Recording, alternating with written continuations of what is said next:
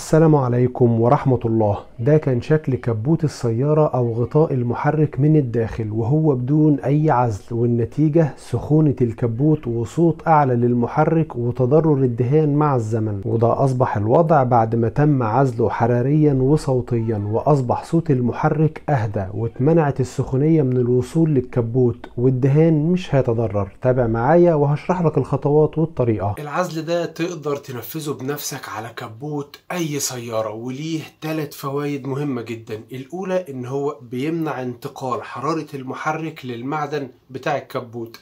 التانية إن هو بيقلل صوت الموتور وخصوصا على السرعات العالية. التالتة إن هو بيحافظ على اللحامات والهيكل والسيليكون العظم اللي في الكبوت وبيحافظ على البوية بتاعته من الداخل ومن الخارج. خليني بقى أوري لك خطوات تنفيذه.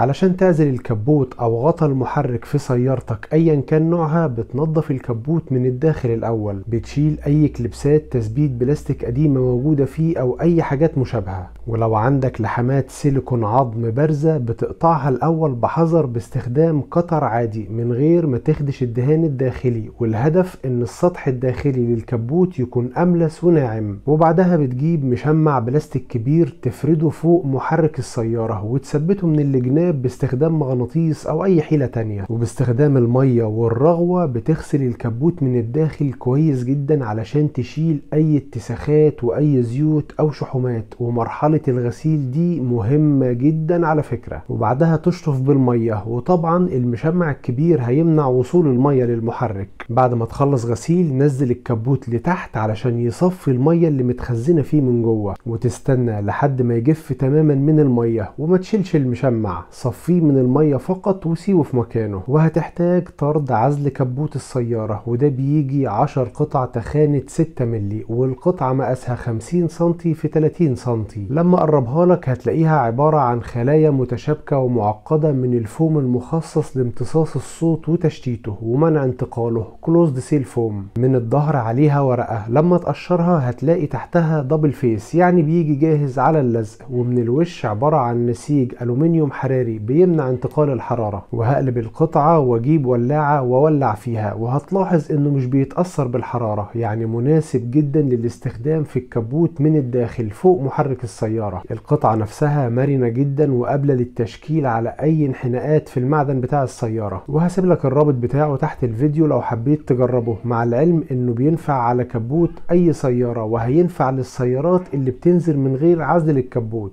طريقة تطبيقه سهلة جدا بتقشر الورقة اللي في الظهر بس ما تقشرهاش كلها علشان تقدر تتحكم فيه. قشر جزء صغير منها وابدأ الزق من على الحافة الداخلية واضغط بإيدك وبصوابعك علشان يتشكل وياخد كل الانحناءات اللي في المعدن وقشر جزء تاني وارجع اضغط بإيدك أو بصوابعك علشان ياخد شكل الانحناءات اللي في هيكل الكبوت من الداخل. وواحدة واحدة قشر جزء واضغط عليه علشان يكون هو والمعدن واخدين نفس نفس الشكل وما يكونش فيه أي جزء منه معلق ومش ملزوق لازم يكون كله ملزوق. لما تيجي تلزق القطعة التانية جنبها خليك حريص إنك ما تسيبش أي فراغات نهائي ما بين القطع وبعضها علشان تضمن جودة العزل الحراري والصوتي اللي هتتعمل للكبوت ده كان شكله قبل التنظيف والعزل وطبعا كان بيسخن من المحرك ومخلي صوت المحرك عالي وده أصبح شكله بعد ما اتعزل عزل صوتي وحراري واتمنعت مشكلة سخونية الكبوت الصوت وأصبح صوت المحرك أهدى. فاضل نقطة مهمة أخيرة خلي بالك منها وهي إن المنطقة اللي فوق البطارية مباشرة لازم تشيل منها النسيج الألومنيوم والطريقة بسيطة جدا.